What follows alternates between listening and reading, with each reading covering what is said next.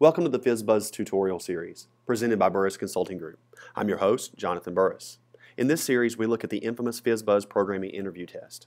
Sometimes, even the best programmers are tripped up by the simplest of tasks. We spend much of our time solving complex problems, and we often slip up when it comes to basic tasks. Writing code isn't the only thing that makes a good software engineer. Speed, efficiency, readability, and many other factors go into a delivered product. This FizzBuzz test is often used by companies when proving a programmer's ability to do what they're saying they can do. In this episode, we're going to solve the FizzBuzz problem using plain old C. I'll be using Sublime Text for this demo, but you can use any IDE or text editor that you wish. Let's get started.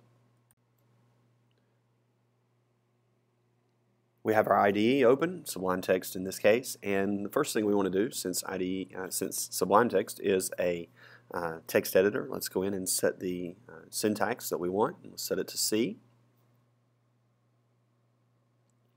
And let's create our main function. So int main, and let's create some spacing there.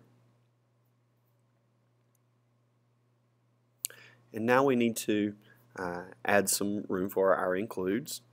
And in this case, we're going to be including uh, stdio header.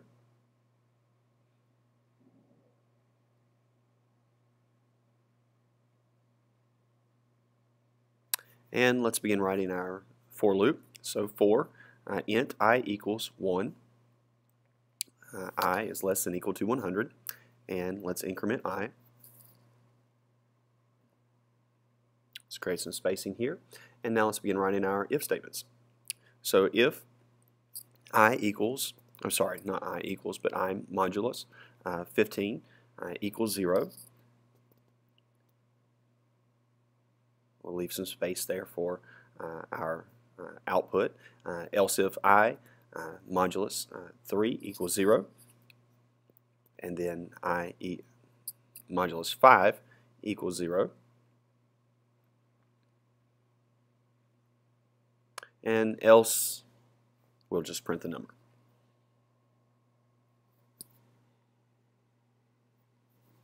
So now under uh, our first check, uh, to see if it's a multiple of uh, 3 and 5, we're going to use printf and we're going to create our uh, string. Our parameter is uh, percent %d uh, for an integer, uh, fizzbuzz, and let's put a new line there. And I, let's close. Let's copy this and let's paste this down. Let's change this to fizz and one more time, change this to buzz.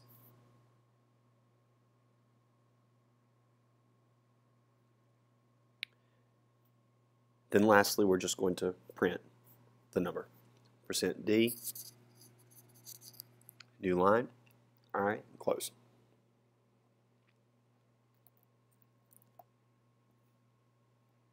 All right, let's uh, run that. Oh, have to save it first. So let me choose my uh, folder for this project. Let's change this to uh, main. And save that and now we can run that. And since Sublime lets us do that we can see our console window right here and there uh, looks good. We see uh, 3 is fizz, 5 is buzz and 15 being fizz buzz.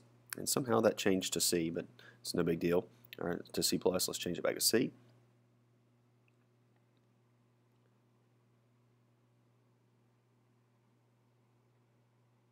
All right, looks like it checks out well. Now let's uh, do some cleanup here.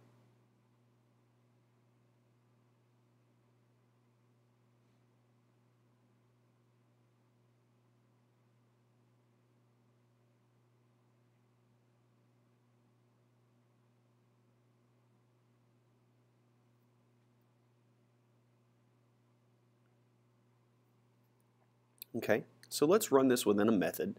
Uh, so we've created a method there, or a function, and it's uh, a void function. Has no return. And let's run it now in the main by calling that function, and everything works just like it did before. And now let's do some cleanup here.